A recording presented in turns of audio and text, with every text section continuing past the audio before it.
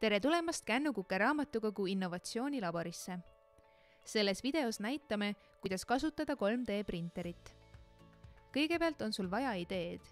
3D modelleerimise tarkvara võimaldab luua originaalseid kujundeid ja disaine. salvesta oma kujundus Cura programmi abil mälukaardile ja vali sobivat värvi filament.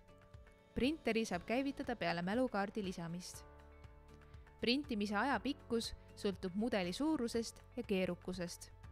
programm kuvab enne printima asumist eseme valmistamiseks kuluva aja. kui printer on tööd lõpetamas, siis oota, kuni alusplaat on jahtunud.